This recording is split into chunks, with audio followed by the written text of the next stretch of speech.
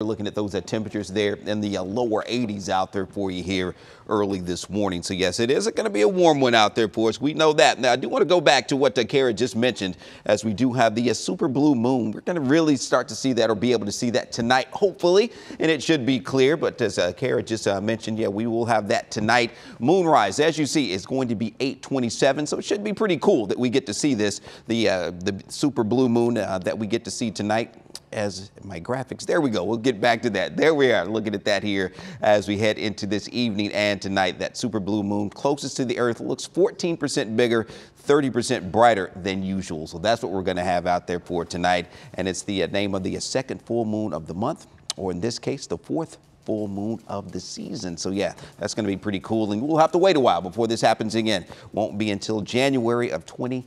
37. So get on out and check it out tonight. All right, now back out to Clyde Warren Park. 85 degrees. Feels like it's 87 out there for you here this morning. We'll see those temperatures warming up as we go through the day. We have to remember we still have that elevated fire danger as well. So that's something that we'll still have to deal with this week.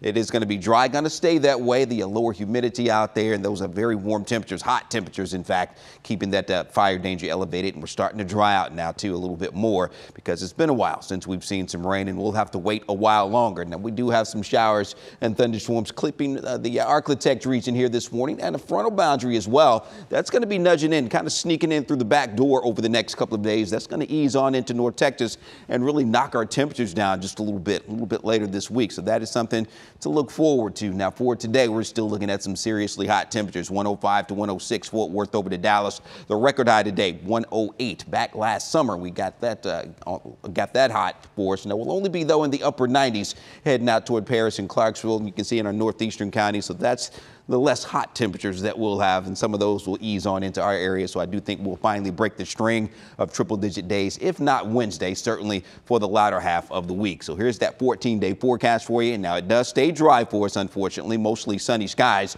as we're looking at those daytime highs by Wednesday and Thursday in the upper 90s. So we're still going to be up around 98 to 99, maybe a little cooler in a few spots here across North Texas over the next few days. And we'll keep it in the upper 90s. So no triple digits doesn't mean we won't hit triple digits at some point in a few places, but yeah, we're going to be in the upper 90s and those low end rain chances as we head on into the latter half of the month, wrapping up the month, starting off September, getting on into Labor Day weekend. All right, let's get back over to station.